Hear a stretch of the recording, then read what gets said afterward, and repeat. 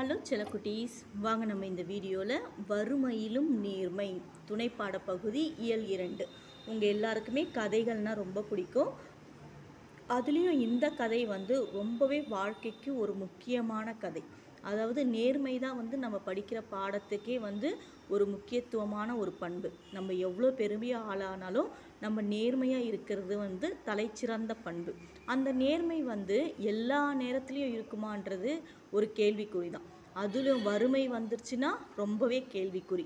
பசி வந்தால் பத்தும் பறந்து போகும் அப்படின்னு சொல்கிறாங்கல்ல அதில் ஃபஸ்ட்டு பறந்து போகிறது நேர்மை தான். ஆனால் அந்த வறுமையிலையும் நேர்மையாக இருக்கிறது வந்து மிகப்பெரிய பண்பு.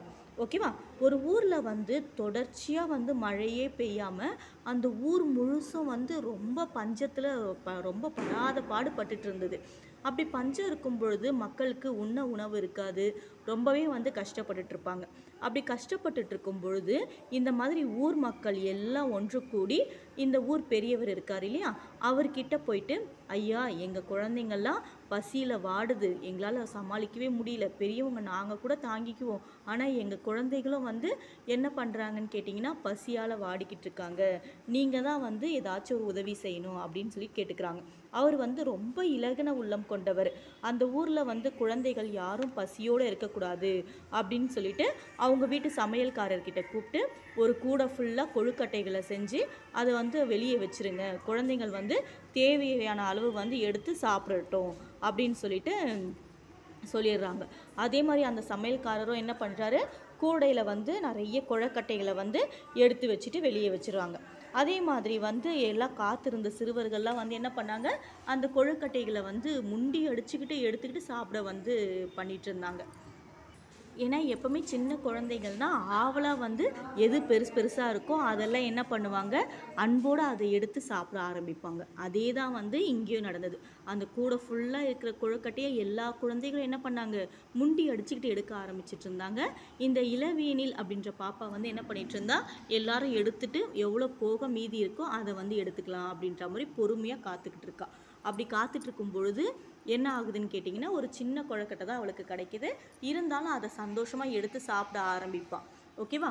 அதில் வந்து என்ன பண்ணுறாரு அந்த பணக்காரர் வந்து பார்த்துக்கிட்டே இருக்கார். டெய்லியும் இதே கதை தான் வருது. கூட நிறைய கொழுக்கட்டைகளை எடுத்துகிட்டு வந்து வச்ச உடனே அந்த பிள்ளைகள் எல்லாம் வந்து ஆர்வமாக கடகடன் எடுத்தது போக அந்த இளவேனில் வந்து பொறுமையாக இருந்து கடைசியில் என்ன கொழுக்கட்டை கிடைக்குதோ அந்த கொழுக்கட்டையை வந்து அவள் வந்து எடுத்து சாப்பிட ஆரம்பிக்கிறாள் ஓகேவா அப்படி சாப்பிடும் பொழுது அந்த பணக்காரர் அதை டெய்லி கவனிச்சுக்கிட்டே வராரு.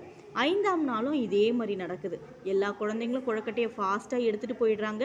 கடைசியாக ஒரு குட்டி குழக்கட்டை மட்டும் இளவேனிலுக்கு கிடைக்கிது. அதை எடுத்துக்கிட்டு போய் வீட்டில் பிரித்து சாப்பிட பார்த்தா அதுலேருந்து ஒரு காசு மாதிரி வந்து பல பலன்னு கீழே விழுது. அதை பார்த்துட்டு என்னது இதுன்னு தெரியலையேன்னு சொல்லிட்டு அவங்க அம்மா கிட்ட கொண்டு போய் காமிக்கிறான் அம்மா இது என்னன்னு பாருங்க ஒரே மின்னுது அப்படின்னு சொன்ன அவங்க அம்மா சொல்கிறாங்க அம்மா இதுதான் வந்து தங்க காசு. அந்த தங்க காசை கொண்டு போய் எப்படி வந்திருக்கும் இந்த இதில்?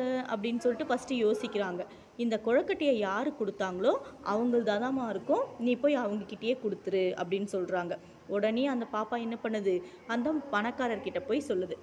ஐயா நீங்கள் கொடுத்த குழக்கட்டையிலேருந்து இந்த தங்க காசு வந்து கிடச்சிது.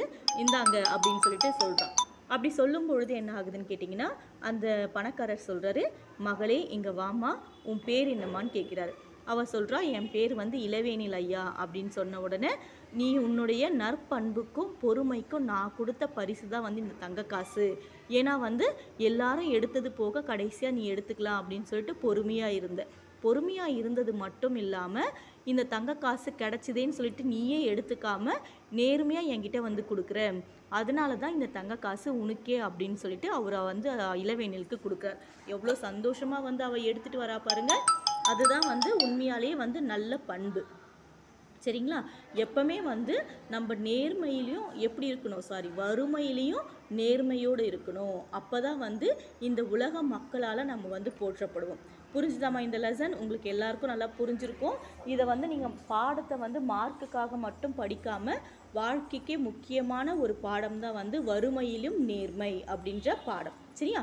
இது எல்லாரும் நல்லா புரிஞ்சுக்கிட்டு நீங்கள் வந்து பாடம் படிக்கணும். Okay thank you